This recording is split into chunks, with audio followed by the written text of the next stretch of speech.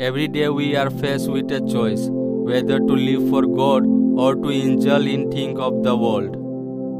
We have free will. Do you pursue to be more Christ like or are you carried away by the pattern and trend of this world?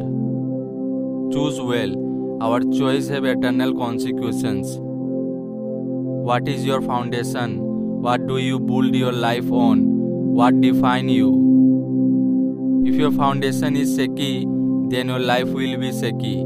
There is only one firm foundation, Jesus Christ. Build your life on Christ, and that will give you the assurance that you will remain standing and firm no matter what come your way. We cannot change our past, but we can choose to make decision from now going forward that will change our future for the better. The best and most important decision we can ever make is following Christ. Anything God has ever done, He can do now.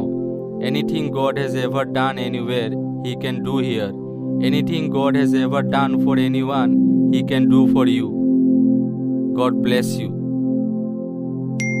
This message contains something that could change your life. Don't ignore this.